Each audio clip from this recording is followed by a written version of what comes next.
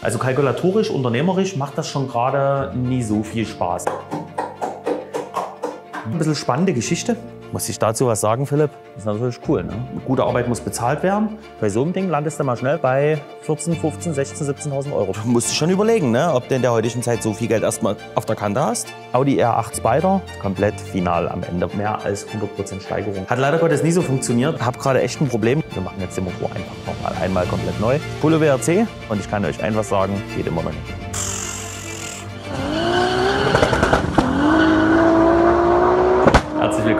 Zu einem neuen Video hier im Hause Motor Mafia. Wer mich noch nie kennt, ich bin der Sven. Ich bin quasi hier der Protagonist vor der Kamera und werde euch heute ein kleines bisschen mit auf die Reise nehmen, wie es aktuell bei uns so aussieht, was im Tagesgeschäft so los ist und äh, wie viel Zylinder wir denn äh, aktuell gerade durchschnittlich so pro Woche füllen. Und ja, ich würde sagen, wir fangen einfach mal hier an. Für diejenigen, die es noch nie wissen, das ist ein 2.0 TSI. Das ist so ein, wie sagt man so schön, so ein Dauerläufer bei uns hier im Hause. Ja, da laufen wir im Monat schon gut und gerne mal zwei, drei Stück durch. Bei dem wiederum muss man sagen, ein bisschen spannende Geschichte. Der Motor wurde vor, boah, ich müsste schwindeln, ich glaube sechs oder sieben Jahren wurde der Motor äh, bereits instand gesetzt. Hier werden wir auch gleich wieder ausgegrenzt vom Werkstattgeschehen. Danke sehr, wir kommen eh gleich raus. Ähm, ja, wurde vor sechs, sieben Jahren schon mal von einer anderen Firma hier in Dresden instand gesetzt. Hat leider Gottes nie so funktioniert, war auch ein bisschen unglücklich. Dem Kunden wurde laut Rechnung, die haben wir auch bekommen, wurde dem Kunden verkauft, dass ähm, der Block mechanisch bearbeitet wurde, dass ähm, geänderte Kolben eingebaut wurden. Ne? Für diejenigen, die es vielleicht noch nie wissen, 2.0 TSI, bekanntes Problem, Ölverbrauch. Na, war auch eine echt sportliche Summe. Also ich glaube, dort standen knapp 13.000 oder 14.000 Euro drauf. Ähm, ja, für mich nie ganz nachvollziehbar waren originale Kolben verbaut. Motorblock war originales Bohrmaß, war nur einmal mit der Hohenahle durchgerutscht. Naja. Ist ja mechanisch bearbeitet. Ja, ja, ja, ja. Nur halt nicht so, wie man sich wünscht. Ja. Aus was für einem Auto ist das Ding jetzt? Äh, Audi Q5, das ist einer von zwei Q5-Motoren, die wir jetzt gerade aktuell haben. Okay. Na? Was Besonderes gibt es jetzt hier nicht. Das wird eine ganz normale, stinknormale Instandsetzung. Das heißt, äh, geänderte Kolben, originale Bläuel, originale Lagerung. Also so sonderlich viel Spielspaß und Spannung gibt es jetzt hier nicht. Was, Da- was muss man jetzt für so eine Instandsetzung ungefähr planen? Vielleicht für die Leute auch interessant? Das ist ein Interess ja, das ist wirklich ein interessantes Thema. Also, an Kosten, weil du gerade sagtest, 13.000 Euro, das ist irgendwie ganz schön viel, oder? Findest du das viel? Also finde ich auch sehr viel, vor allen Dingen vor sechs, sieben Jahren. Und vor allem für eine normale Instandsetzung. Also wenn man jetzt von Leistung redet oder so, dann okay, vielleicht, aber Hm, muss man, okay, muss man, ja, hast du recht, muss man sagen.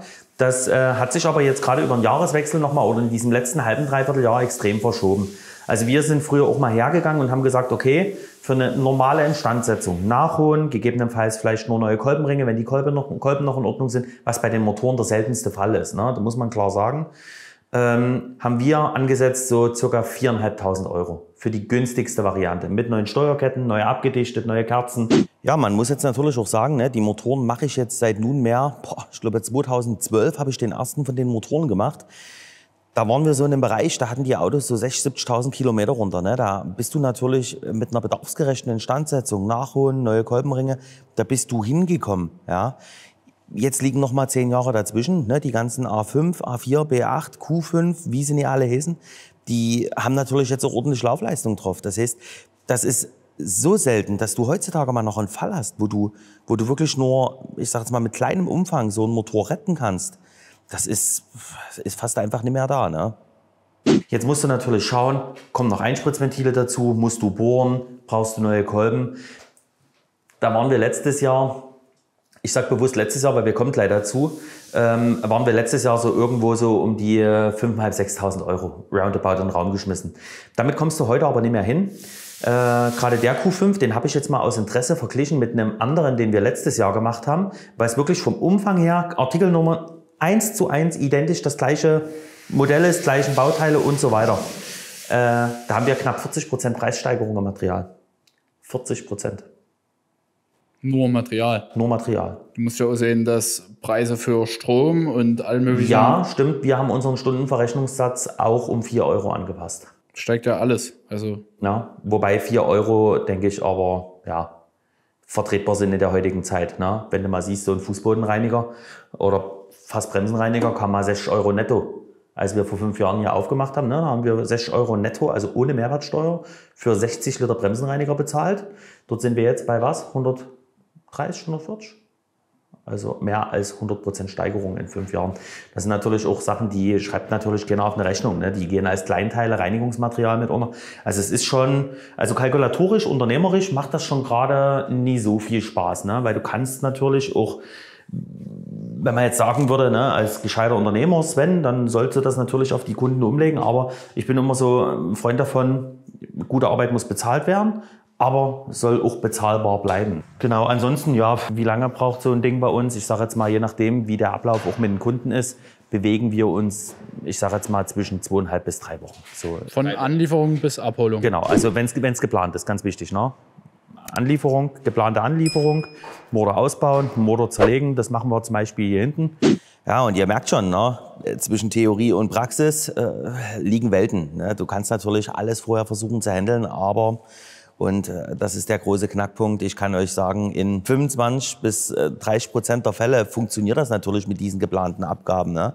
Wie oft hast du ein Auto, das kommt aus Österreich, aus der Schweiz, aus äh, vom Norden Deutschland, da kann so viel schief laufen. Und ja, dann hast du geplant, dann stehst du da und herzlich willkommen. Glückwunsch bei deiner Wochen- und Monatsplanung. So, ihr könnt natürlich sehen, hier hinten ist so echt unreine Ecke. Ne? Hier hinten wird zerlegt, hier haben wir dann gleich die Waschmaschine, hier wird alles sauber gemacht, hier wird alles vorbereitet. Ihr seht schon, wir arbeiten viel mit diesen Transportwagen. Dann gibt's bei uns äh, saubere Wagen. Dort wird alles sauber draufgepackt. Dann kommt's in den Motorenraum, was vorbereitet ist. Und dann gibt's natürlich vom Arbeitsplan her dann im Motorenraum das abarbeiten und dann fliegt er halt direkt rein. Wie in dem Fall zum Beispiel, lass mal hier rübergehen. Bei dem Cupra gab es ein paar Specs dazu. Äh, Schmiedekolben, geänderte Bläue, äh, einen standgesetzten K04-Lader, äh, was gab es noch? Straffe Ventilfedern, ich habe es schon gar nicht mehr im Kopf, das ist so viel. Ja, dass der Motor sozusagen standhaft ist für mehr Leistung. Der Kunde, hat, äh, der Kunde selber hat jetzt erstmal entschieden, natürlich auch aus Kostengründen, ist ganz klar. Wir hatten es ja gerade thematisiert, dass jetzt erstmal ein instandgesetzter originaler K04-Lader wieder drankommt. Ich denke, der kann in dem Fahrzeug bei dem Motor auch schon recht viel. Genau, und der Marvin hat den Motor jetzt eingebaut. So wie es aussieht, ist der Marvin jetzt gerade auch in den letzten Zügen. Klimaanlage wird befüllt. Ich denke, Marvin, von der Planung her, Probefahrt steht an, oder? So langsam, ja. Ja, gut, okay. Oder Fahrschutz auch drunter, also gehe ich davon aus, dass soweit alles hinhaut. Gut, schön. Gerade bei solchen großen, umfangreichen Sachen, Motoren ausbauen, zerlegen, instand setzen, wieder einbauen, Projekte abschließen, mit Softwareoptimierung noch anschließend, das, äh, das braucht natürlich extrem Struktur. Ne? Das hat bei uns auch ganz paar Jahre gedauert. Ich will auch jetzt an der Stelle nicht sagen, dass wir das heute perfekt bringen. Das ist ganz klar. Es ist sicherlich immer noch Potenzial der Verbesserung, aber ich denke, wir sind äh, von unseren Abläufen schon auf einem sehr, sehr guten Weg, was es uns natürlich auch möglich macht, solche Projekte innerhalb von drei bis vier Wochen durchzubringen, wo ich sage jetzt mal, bei einem Einmannbetrieb ne, so ein Auto vielleicht auch mal ein halbes oder ein Jahr stehen kann. Und äh, der Marvin macht das auch super mit, dem, äh, mit den Motoren. Der wächst dort auch in das Thema gerade gut rein. Viel Arbeit für ihn, ne, aber wir sind da auf einem guten Weg, dass wir das noch breiter fächern können. Ne? Ja, ansonsten, uh, hier, Schmuckstück. Ich weiß auch gar nicht, ob das so gewünscht ist, dass wir das Auto zeigen. Ansonsten, jetzt wird sich ja sicherlich der ein oder andere fragen, Warum baue ich denn jetzt bei so einem Skoda Superb die äh, Front ab, um einen Zahnriemen zu wechseln? Könnte man jetzt annehmen, ne? Das ist halt ein längs eingebauter Motor, ne? sonst kommst du da wahrscheinlich beschissen ran. Äh, genau, aber man kommt dran und man kann es natürlich auch im Eingebauten wechseln. Es gibt natürlich immer noch die Möglichkeit zu sagen, du machst die, äh, die Schrauben hier vorne von der Trägereinheit ab, machst Stiftschrauben rein und bringst dir das Ding in eine Servicestellung, ne, dass du rankommst. Aber, und jetzt das große Aber, wir haben noch ein paar andere Arbeiten mit zu erledigen. Unter anderem haben wir ja hier unten sozusagen hinter der Kurbelwellenriemenscheibe das Zahnriemenrad sitzen und hinter dem Zahnriemenrad hast du einen Wellendichtring, einen, Kurbel, einen Kurbelwellendichtring. Ja, der dichtet quasi die rotierende Kurbelwelle ab. Der ist leicht undicht und der soll mit erneuert werden. Richtig, Paul? Genau. Ja, dann würde ich sagen, springen wir gerne mal weiter, oder? Das ist zum Beispiel auch so ein so ein, so ein, so ein spezieller Patient hier. Das ein 330D, ne? Sechszylinder Diesel. Es gibt ja die Möglichkeit, über einen freien Markt Ersatzteile zu bekommen. Ne? Kolben, Lager, Lichtmaschinen, alles, was das Herz begehrt. Und jetzt haben wir ja wirklich gerade echt eine spannende Zeit, dass es wirklich echt herausfordernd ist, Material zu bekommen. Ne? Zum Beispiel hier die Kolben wollten wir gerne von, ich glaube, Mahle oder Kolbenschmidt, die ja auch direkt ans Band liefern, ne? direkt OEM zum Hersteller ans Band liefern. Wollten wir die Kolben über einen freien Markt kaufen. Die Kolben sind übrigens seit April 2022 im Rückstand. Also im Rückstand schon länger. Die sollten 2000, im April 2022 sollten die Kolben zum Großhändler geliefert werden. Die sind bis heute nicht da. So, was hast du dann für eine Option? Die einzige Option, die du hast, original BMW-Kolben zu kaufen, da bist du knapp zwei Schleifen los für sechs Kolben. Krass, ne? Da hast du noch keinen Block gebohrt, da hast du noch kein Lager neu gemacht, da hast du noch keine Schraube gedreht, noch gar nichts. Das ist natürlich cool, ne? Und da landest, also bei so einem Ding landest du mal schnell, wenn wir über Zahlen reden wollen, ähm, landest du mal ganz schnell bei 14, 15, 16, 17.000 Euro bei einer Instandsetzung. Wenn wir mal ehrlich sind, ne, wenn du jetzt über 16.000, 17.000 Euro redest, über, ein, ich sag jetzt mal, E9-Baureihe, war irgendwo Mitte 2000er, 2005, 2006, glaube ich. Musst du schon überlegen, ne, ob du in der heutigen Zeit so viel Geld erstmal auf der Kante hast und ob du das überhaupt bereit bist, in so ein altes Fahrzeug zu investieren. Ne? Enrico würde mir wahrscheinlich jetzt äh, ein Liedchen davon trällern, wie der Gebrauchtwagenmarkt gerade aussieht. Das heißt, äh, im Endeffekt hast du natürlich als Kunde dort auch nicht so die großartigen Optionen. Oder du verzichtest. Ne? Aber es ist schon ein gewaltiger Brocken, das muss man sagen. Irre. Irre, irre, irre. Ja, ansonsten, was gibt's hier hinten noch? Vielleicht auch mal interessant, dass wir auch Dieselfahrzeuge machen und Dieselmotoren. Ne? Also nicht nur 2.0 TSI und nur Benziner, sondern Diesel genauso. Das haben auch viele gefragt jetzt. Ja, na gut, weil, weil sich bei uns halt viel um diese ganze TFSI-Sache dreht, ne? weil wir schon videotechnisch auch ganz viel für diese TS, äh, TSI und TFSI-Sachen gemacht haben. Ja, also an der Stelle absolut richtig, Philipp.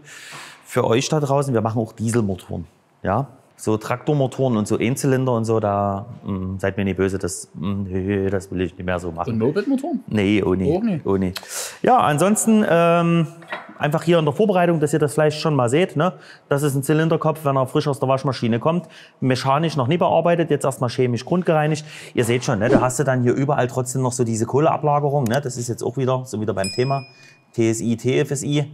Wird in der Waschmaschine grob vorge vorgereinigt, geht's dann sozusagen mit einer mit einem Metallschleifer noch mal rein. Die Kanäle werden dann noch richtig sauber gemacht, Ventilsitze bearbeitet, Ventile bearbeitet und geplant. Ja, und wenn das dann erledigt ist, sieht das so aus. Einmal hübsch. Ja. Ansonsten, oh, Ist das ein Abflussrohr oder was ist das jetzt? warte mal, ich hole erst mal vor, ohne dass er mir aufs Bein fällt. Also ich muss sagen, das Ding feiere ich ziemlich hart. Das äh, ist ein Ford Escort. Und also es ist kein originaler Cosworth, ne? es ist ein umgebauter, das kann man soweit sagen. Aber wir haben jetzt trotzdem letztendlich hier ein 16V Turbo drin. Ich weiß gar nicht, wo der, wo der Marvin die, den Dr. Turbolader hingeschmissen hat. Also ich meine, man muss, sind wir mal ehrlich jetzt, ne? da wird es jetzt bestimmt wieder viele geben, die so drunter schreiben, ja, äh, warum macht man sowas? Ich, ich persönlich bin ja auch immer der Meinung, so Geschmäcker dürfen auch unterschiedlich sein, sonst wird man ja alle dieselbe Salami essen. Ne? Ford ist für mich auch so, Ford verbinde ich mit Blau. Und äh, ja, mit Blau kann man schon sagen, hat der Kollege jetzt hier auch nie gespart. Ne? Also den Block hat hier schon mal schön einer blau gemacht. Äh, ihr werdet es vielleicht jetzt auch, also, ja, hier drüben, es ist halt auch sehr viel Blau in dem Motorraum. Aber ja, ist Geschmackssache. Ich, irgendwie fühle ich, das passt zu dem Auto auch. Ich muss so ehrlich sagen, diese selbstgebaute Ansaugbrücke hier mit diesem, ich, äh, ich weiß nie, was es ist. Ich weiß nie, was es ist, aber ich feiere es irgendwie hart. Muss man ganz klar sagen, so eine 90er Jahre Taschenrakete ist natürlich für uns jetzt aus unternehmerischer Sicht wahrscheinlich noch nicht mal so der, der wirtschaftlich interessanteste Auftrag. So, aber es geht ja auch nicht nur immer um, ich sag mal, um finanzielle Mittel, sondern es geht ja auch einfach mal um Spaß. Und wenn du die Möglichkeit hast, so eine 90er Jahre Taschenrakete hier auf dem Hof zu bekommen und sowas zu machen, ja, wir haben ja auch eine Leidenschaft, ne? Und dann willst du natürlich mitmachen, das Ding. Muss man vielleicht auch dazu sagen, der Motor ist jetzt nur rausgekommen, weil der Kunde den Wunsch geäußert hat. Es wäre jetzt mal wieder an der Zeit, dem Motor mal ein kleines bisschen Liebe zukommen zu lassen. Also Auto ist noch komplett gefahren, wurde auch bei uns so angeliefert. So, der steht jetzt hier hinten, wie ich es gerade schon gesagt habe, unreine Ecke. Was, was war hier an Leistung? Weißt du das? Das weiß ich nicht. Also das, äh, da müsste man Paul jetzt fragen, aber der ist gerade noch im Kundengespräch. Der Paul hat den Vorgang angenommen und der hat alle Unterlagen dazu drin. Aber ich weiß es aus dem Kopf jetzt nicht, bevor ich jetzt irgendwas Falsches sage. Ja, und dann können wir ja gerne draußen noch mal ganz kurz lang gehen. Da gibt es noch ein, zwei Schmankerl, die draußen stehen. Ich würde sagen, bis gleich. So, also, Polo WRC, Audi R8 Spider. Muss ich dazu was sagen, Philipp? Hier haben wir auf jeden Fall den, äh, den Escort. Der fährt. Der fährt nicht. Das ist zum Beispiel auch gerade so ein Thema. Ne?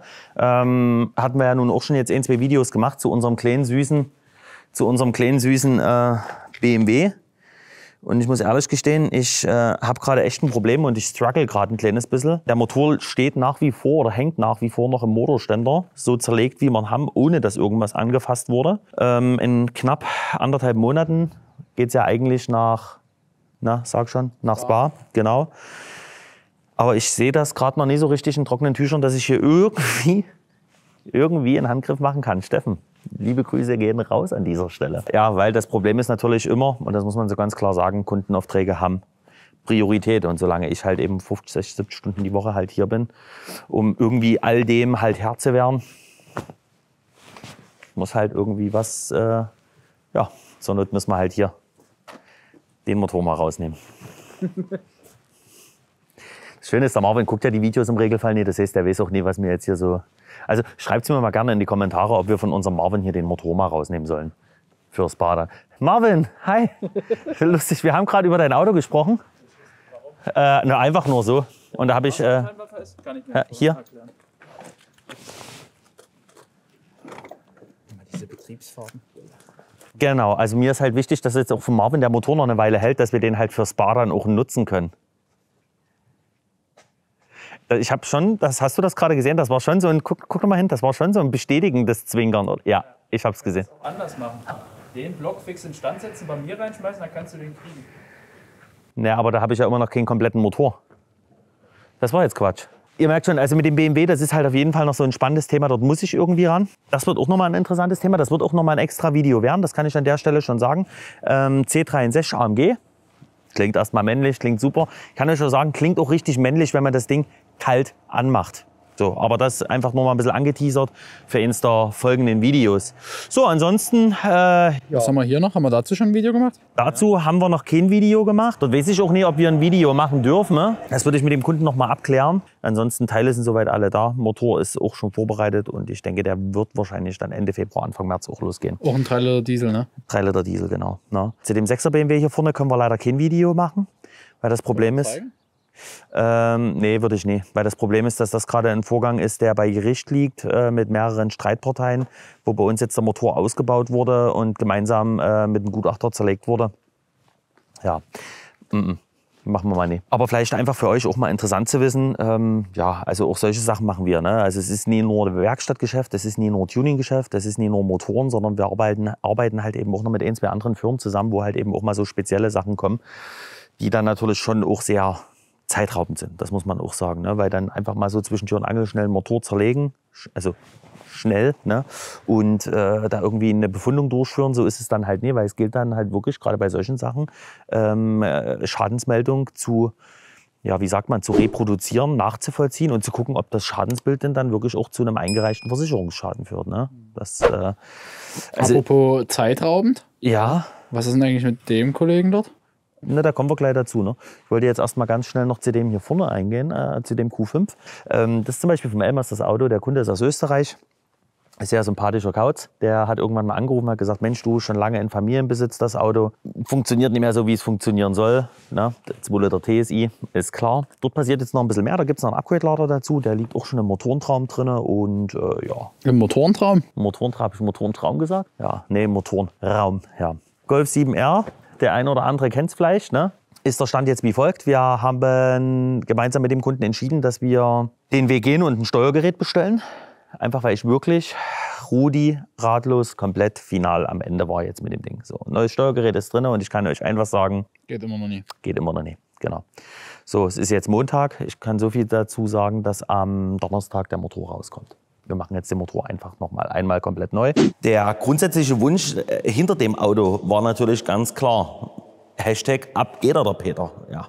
Das war wohl mal nix, ne? Kann euch schon mal eins sagen, dort haben wir schon richtig Zeit verbrannt, richtig Geld verbrannt. Und das Schlimmste an der Stelle ist natürlich für mich eben auch, dass der Kunde nicht nur ein Kunde ist, sondern dass wir auch, ja, privat miteinander in einer gewissen Art und Weise verbündelt sind, verschachtelt sind, dass wir uns halt eben auch kennen. Wenn du dann so im trüben fischst, da macht dann auch einfach keinen Spaß mehr. Und dann musst du halt einfach immer wieder den Arsch hochkriegen und, ja. Aber ihr werdet's, ihr werdet's wahrscheinlich in einem der folgenden Videos sehen. Äh, ich hatte es ja in dem einen Video schon schon äh, angemerkt, dass wir ja bei dem Motor den Zylinderkopf mechanisch bearbeitet haben. Das ist ja einer von zwei Prototypenmotoren gewesen ist. Glücklich, unglücklicherweise muss man sagen, läuft der eine Prototyp beim ähm, Thomas von TD Performance im S1 wirklich gigantisch. Können wir vielleicht mal ein Leistungsdiagramm einblenden und vielleicht auch noch mal eine 100-200 Beschleunigung. Das Ding hat 648 PS und äh, 700 Newtonmeter und fährt 100-200, korrigiert eine 5, was war's, 5,1